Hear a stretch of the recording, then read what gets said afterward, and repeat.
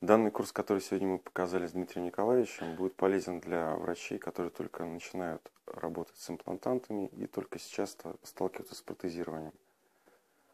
На мой взгляд, этот курс был проведен достаточно квалифицированно как со стороны врачей, которые его показывали, так и со стороны организаторов. Я благодарю Алексея Шарова за предоставленную возможность поделиться своим опытом.